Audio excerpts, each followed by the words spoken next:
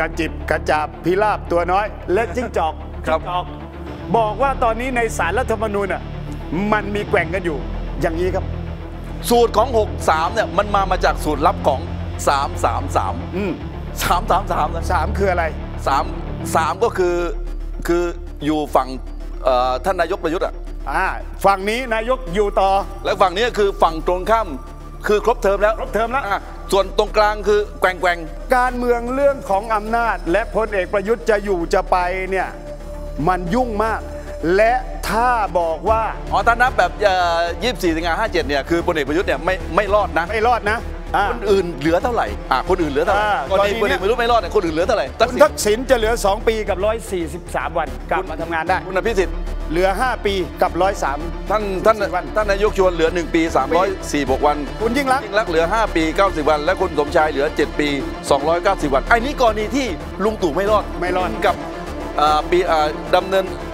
เข้ารับตำแหน่ง 24 สิงหา57 แต่ถ้าลุงตู่รอดครับ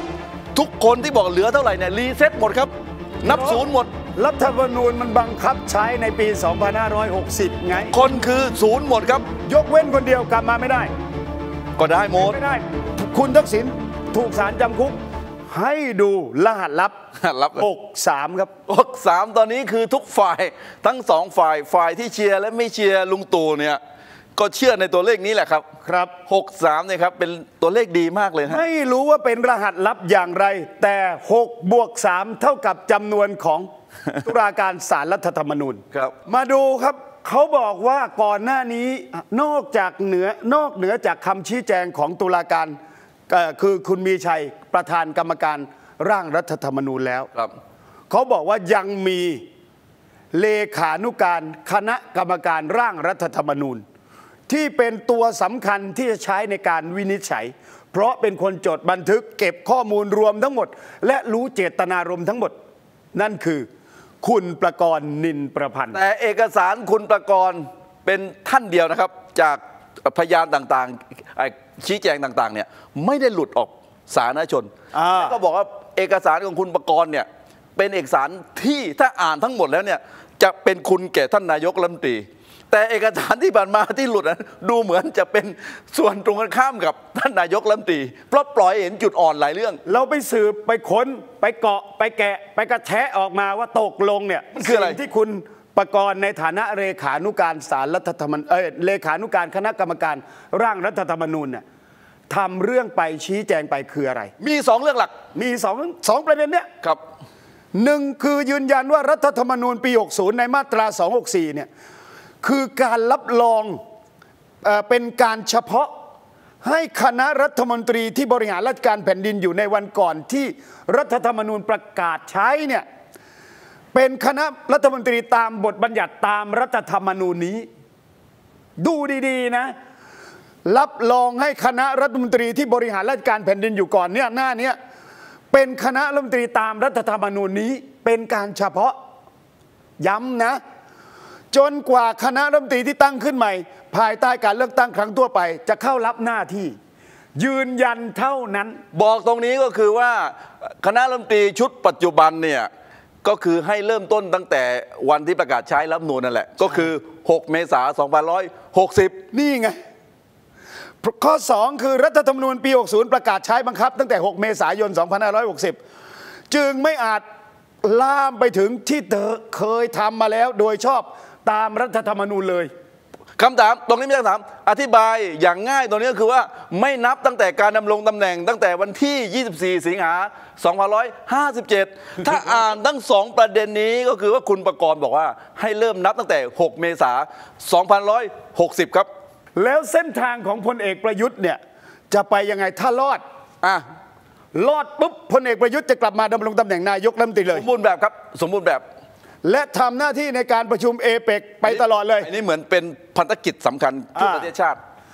แต่ระหว่างทางนี้ถึงแม้ว่ารอดโอ้โหมันจะเกิดมรสุมว่าด้วยเรื่องของการไม่ยอมรับและเป็นการก่อม็อบกันไปเรื่อยๆรายทาง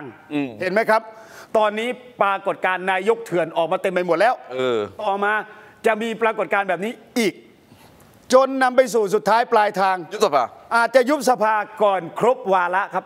น่าจะยุบก่อนครบวาระแน่นอนครับ อืมเขาบอกว่าให้ดูกันช่วงปลายพฤศจิกาต้นธันวาครับ ครับ นี่ทางหนึ่งคือตรงนี้รอดจากสามนูนได้ แต่ต้องรอดจากม็อบด้วยนะถูกต้องรอดจากม็อบด้วยเห็นไหมฮะ